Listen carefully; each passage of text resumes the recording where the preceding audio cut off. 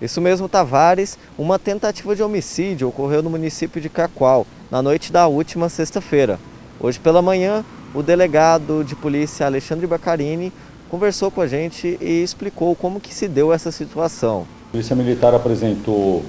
é, o autor da, das facadas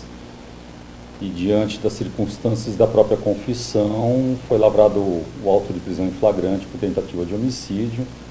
no qual ele confessou que estava na companhia da vítima no interior de um veículo e que teriam é, feito um programa, né, tido um relacionamento é, sexual e em razão de discussão de valores e pagamento acabou havendo essa, esse problema e ele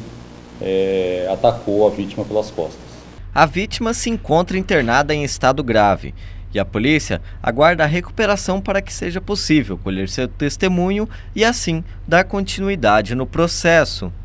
É, dentro dos próximos dias nós vamos verificar aí a possibilidade de ouvir a vítima dentro do inquérito e dentro do prazo legal nós estaremos encerrando o inquérito policial e encaminhando ao Ministério Público.